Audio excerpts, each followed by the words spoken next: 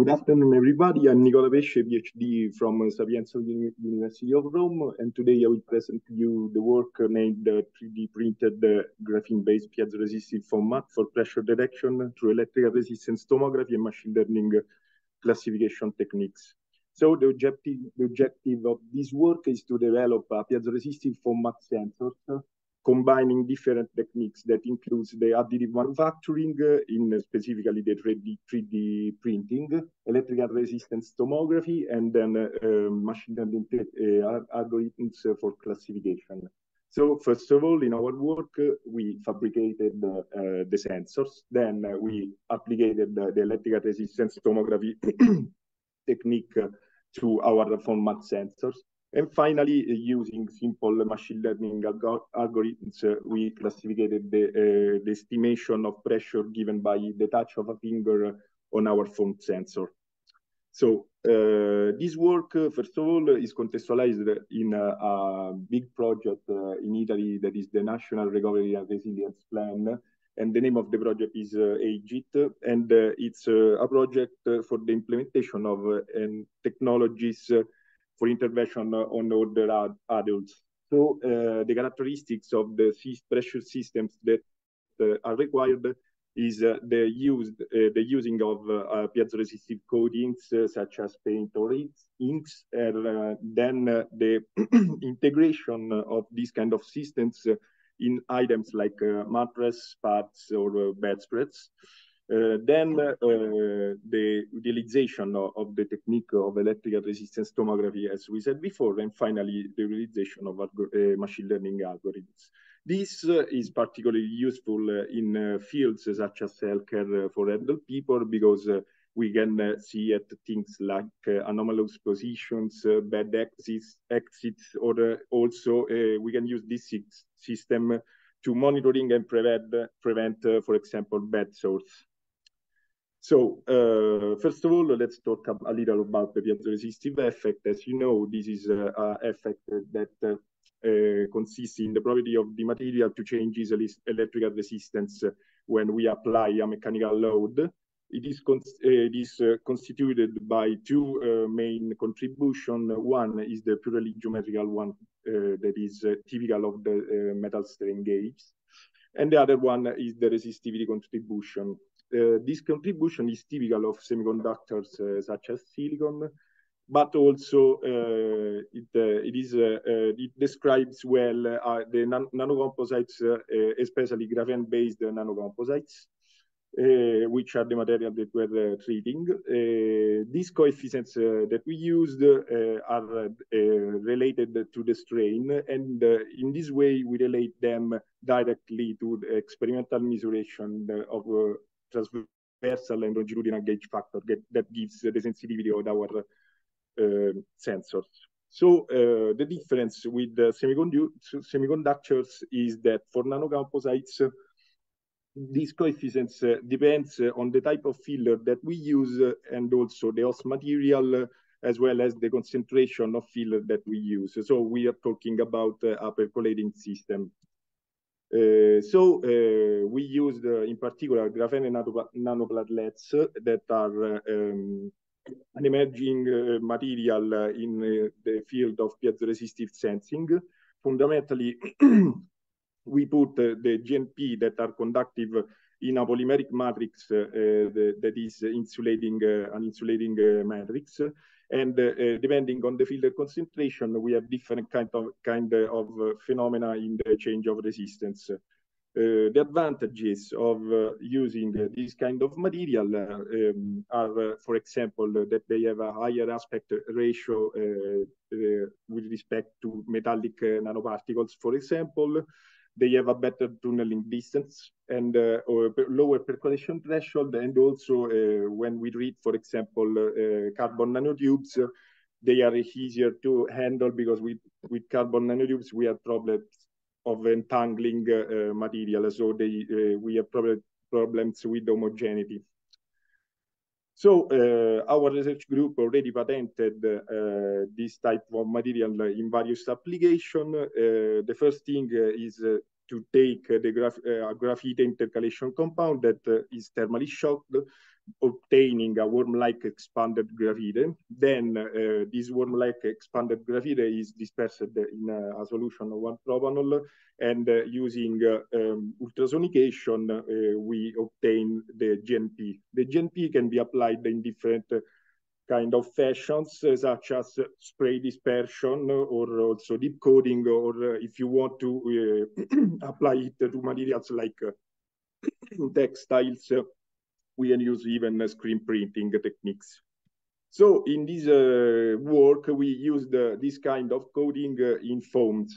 So uh, the process uh, involved uh, to cre creating a foam, infiltrate the foam with our coating, and then utilize, utilize electrical resistance tomography on this foam and using machine learning algorithm to skip some passages of the typical electrical tomography process.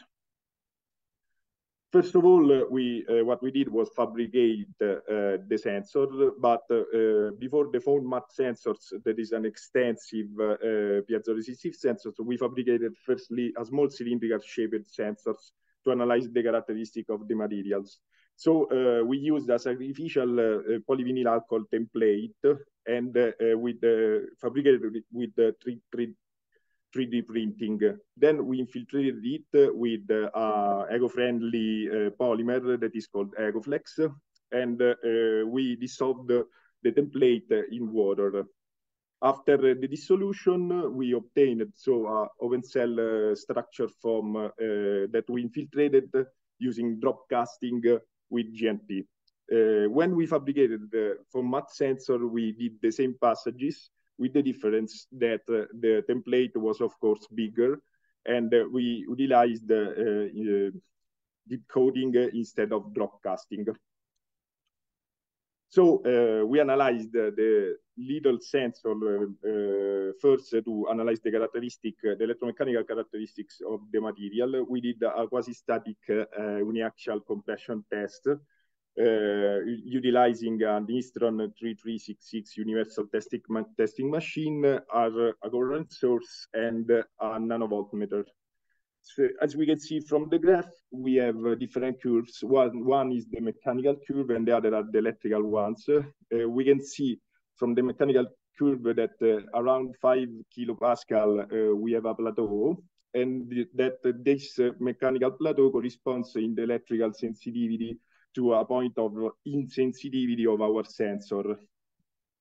Then uh, from 5 kilopascal to 20 kilopascal, we can see that we have a better sensitivity, a good one. And uh, the highlighted zone is uh, uh the typical pressure zone uh, uh, exerted by a fingertip on our kind of foams. So uh, after the fabrication, we uh, use the, the, technique of electrical uh, resistance tomography. Usually this technique is based on a specific passage. That is one is a specific, the, the utilization of a specific uh, pattern injection, current and voltage me measurement. Then uh, we have uh, to resolve the, the so-called forward problem that is structured with finite element modeling simulation. And then we have the main core of the electrical resistance tomography that is, that is the conductivity uh, reconstruction from measured uh, voltages uh, that we have at the outer board of our domain. I forgot to say that uh, this technique is uh, uh, fundamentally a non-invasive imaging technique that means point to reconstruct the internal conductivity of a domain that we are interested to.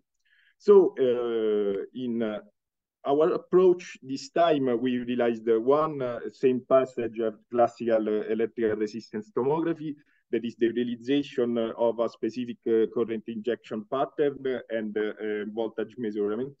But this time we utilize machine learning to direct, directly estimate the formation for, for the voltage data. So we don't have uh, the steps of uh, the forward problem, and then we have to uh, the to connection uh, uh of conductivity with uh, deformation. This uh, uh, leads to different advantages. That is that with machine learning, we can handle complex nonlinear problems, which is the problem linked to the conductivity deformation relations. Also, uh, we potentially uh, reduce the computational uh, burden because we don't have to use FEM simulations, so we don't have to use complicated meshes, especially for complicated geometries such as foams. And then, as we said before, we can directly predict the deformation from the voltage data, so we skip passages. Uh, so we applied this technique on uh, our uh, foam mat sensors. We injected um, 10 microampere current in opposite fashions.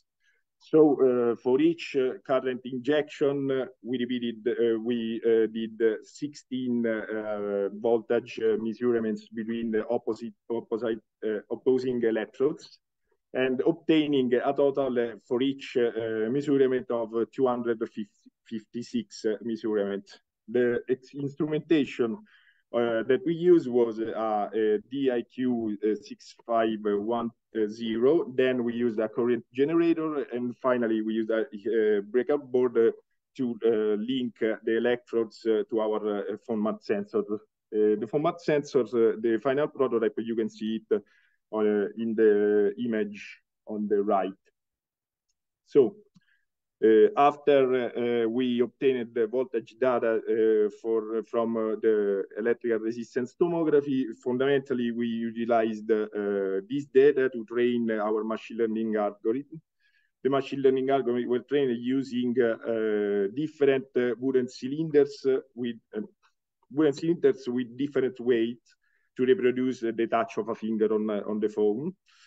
Then uh, we utilize the standard metric uh, of accuracy to uh, see the accuracy of our algorithms. Specifically, we utilized simple algorithms that are support vector machine, artificial neural network, shallow neural network, k-nearest neighbor, and Bayesian tree. We also estimated the, in the confusion matrix that you will see the true positive rate, the false negative rate for our algorithm. Eh, fundamentally, eh, the classification algorithms had the meaning of estimate the accuracy in single touch and then the accuracy for both single touch and double touch detection. For single touch detection, we obtained from the support vector machine a result that is 87.5%, while for the single touch and double touch detection, we obtained 83.7% of accuracy. Uh, fundamentally, uh, what we did was uh, using a grid approach zone to have to estimate the touch of a finger. So we divided the foam in theoretical zones that are labeled from zero, then from A to I. In this way, we will see in which zone we apply pressure. Uh, for the first case, this is the confusion matrix uh, in the case of uh, single touch detection. And on the corner high, in the high corner, we have the configuration of single touch detection. In blue, we have the true positive rate of our classes, and in red, we have the false negative rate. Then when we added the double touch classification, we did the same things, the same thing, uh, uh, uh, calculating the confusion matrix for both, as I said before, the estimation of single touch with double touch detection. These were the these eight, we utilized the eight configuration for double touch detection using the symmetry with respect to center of our square-shaped sensor.